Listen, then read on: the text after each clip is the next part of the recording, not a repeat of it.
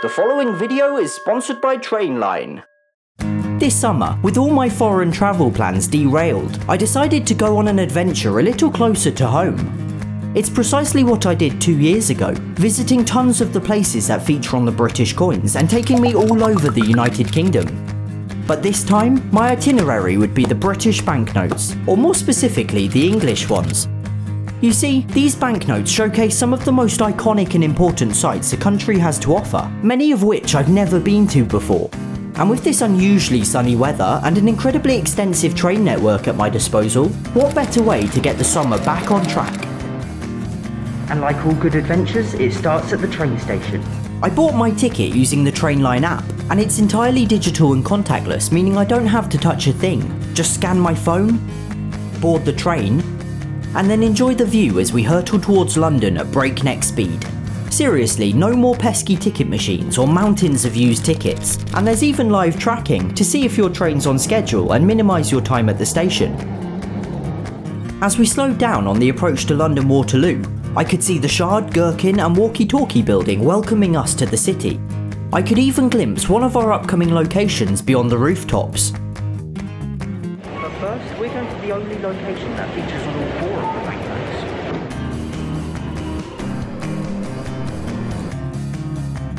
This is the Bank of England, home to the second largest hoard of gold in the world, worth over 200 billion pounds.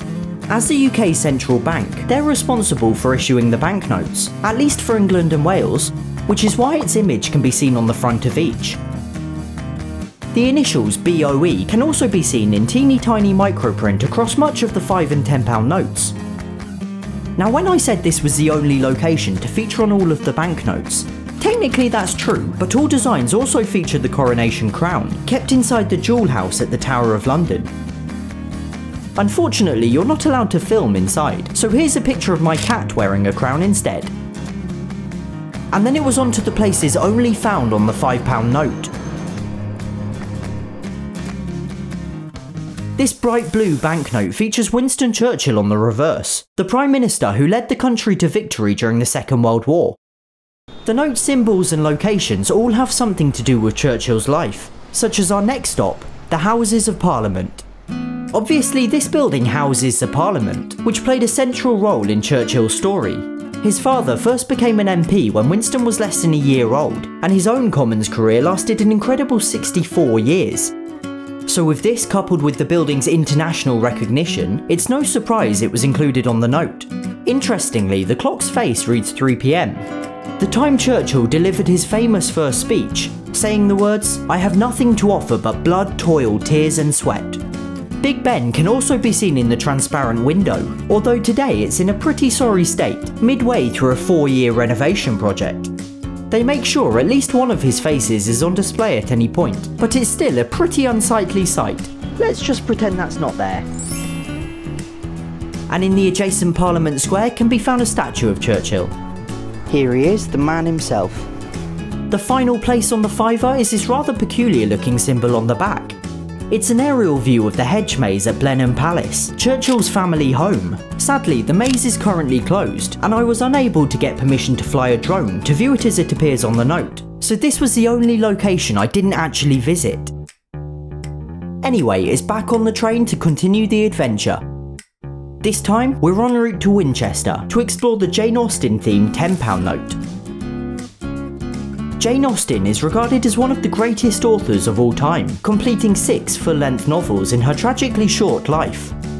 Austen herself made a similar journey 200 years earlier, but under radically different circumstances. The next station is Winchester. She was ill, rapidly declining with an unknown condition, and travelled to Winchester for treatment. But within just a few weeks, her condition significantly worsened, and she died aged 41. No one's precisely sure what it was, but that's not really relevant. The world had just lost one of the greatest authors to have ever lived. A few streets away from the house where she died can be found Winchester Cathedral, the building portrayed in the banknote's transparent window.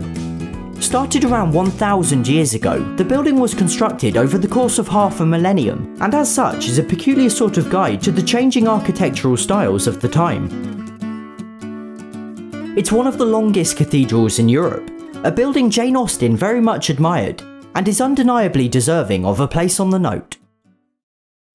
And inside the cathedral can be found Jane Austen's tomb. The simple gravestone makes no mention of Austen's writings, but as her fame and reputation grew in the years and decades after her death, her nephew funded a brass plaque around 50 years later. The plaque, located on the wall beside her grave, begins by immediately highlighting her work and is a much more fitting tribute to the author. I like to imagine her nephew would have been delighted to learn that she's now recognised on our currency. And with that, it's on to the other £10 note location, Godmersham House.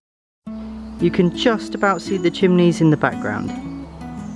This building is now an optician's college and is completely closed to the public, but there is a public footpath running alongside the property that offers the occasional glimpse. The house used to belong to Austen's brother, Edward, and she would visit often over a 15 year period, working on many of her books here. Godmersham Park is even said to be the inspiration for her novel Mansfield Park, now because of the giant hedge running parallel to the house either side of the footpath, it's only really visible from two specific points, and even then it's the back of the house. The solution? It was finally time to take to the skies.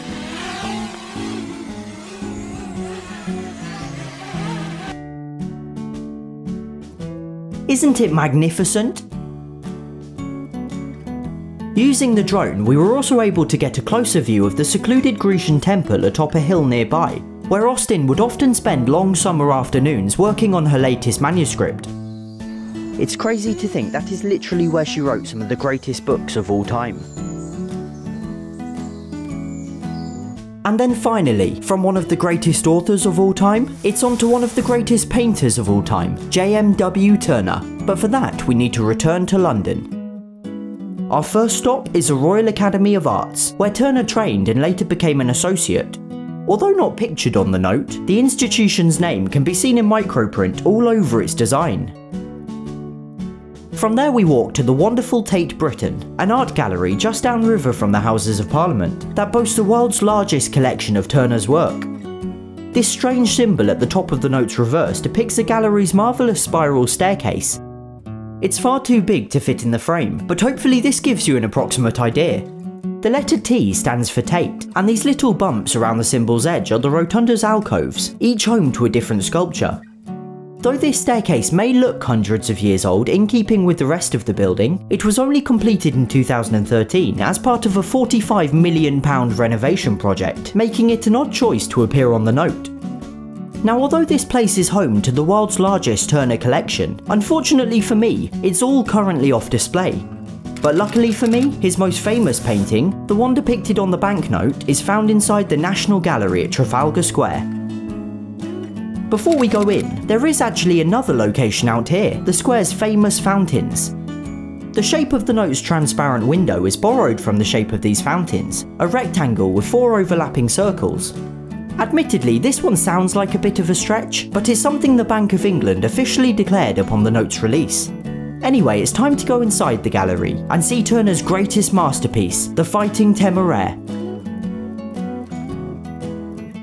The painting depicts a HMS Temeraire being towed up the River Thames by a tugboat, on its way to be broken up after a long and heroic career. This sense of ending is further symbolised by the sun setting over the estuary and casting a magnificent orange glow over the scene.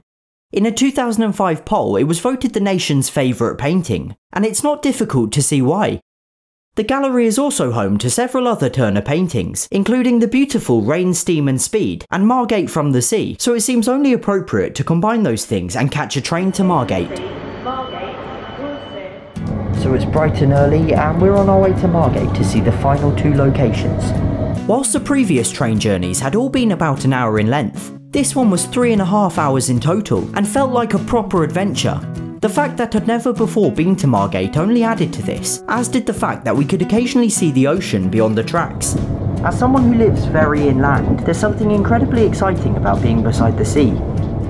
I was armed with my travel essentials that made the journey fly by as quickly as the rolling hills and beautiful English countryside. Plus I could even use Trainline's live tracking feature to see exactly where we were on the journey.